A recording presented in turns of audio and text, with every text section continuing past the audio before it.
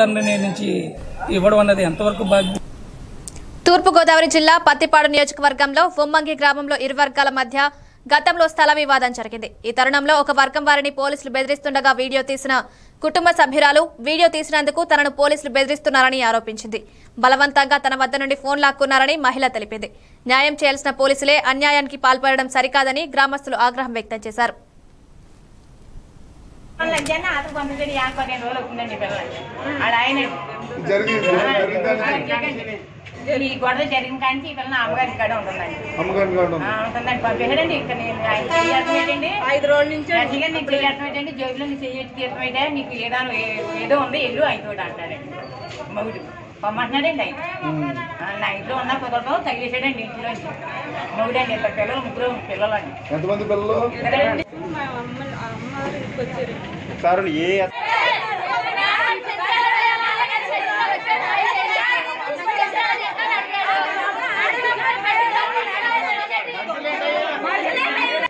చెల్లెట్టం ఉంటారు బాబయ్య మరి ఆవిడ కాపురం పోయింది కదా బాబయ్య? నా కూతురు కాపురం ఎవరికి నిలబెడతారు బాబయ్య ఇద్దరు పిల్లలు.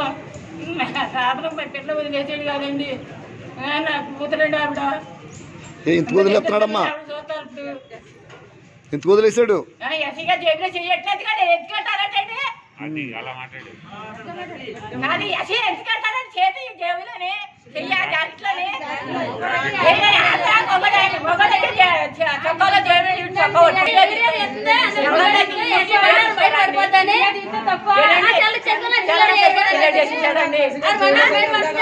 ఎంతమంది కాపాడు చేస్తాడండి ఎస్సీ గారు ఆ?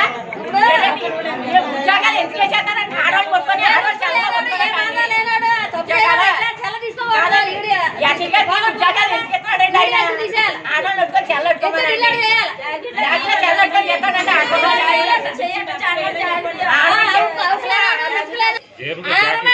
జాకెట్. లో చెయ్యట్టి చెల్ల ఎందుకు తీయాలా? ఎస్సీయా